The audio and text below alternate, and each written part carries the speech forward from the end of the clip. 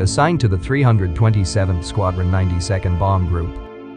B-17F Snake Hips must be a contender for the most damaged B-17 ever to return to its base in England.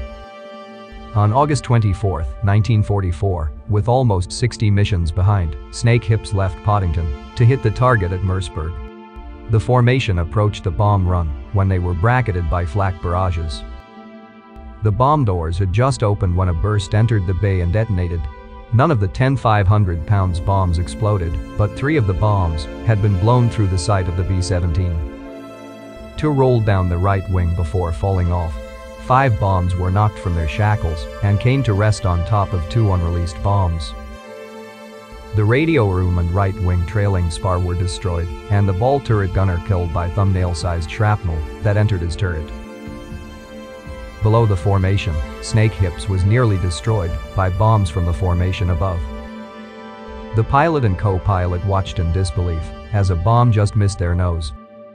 A second fell between the left trailing wing and the horizontal stabilizer, and a third fell just behind that. The supercharger controls were damaged, and the B-17 descended through 14,000 feet, where the engines found the air sufficient and roared to full power. Asymmetrical power settings achieved a seesaw course for home. Because of severed flight control cables, turns were hard if not impossible. As they made the English coast a second engine reached fuel exhaustion, but an airfield was spotted. It was Woodbridge, a field built just for shot-up airplanes.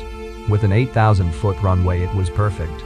The pilot instructed the crew to jump in their parachutes. Snake Hips became a ruler to measure what a B-17 should be able to endure.